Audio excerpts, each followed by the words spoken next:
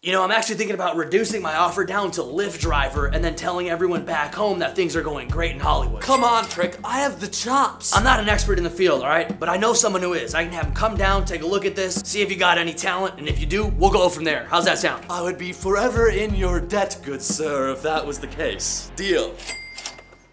I know I have the talent, but I just need to get in front of the right people. Then I know I'll land the role. If this guy has any talent, we could be talking a serious role.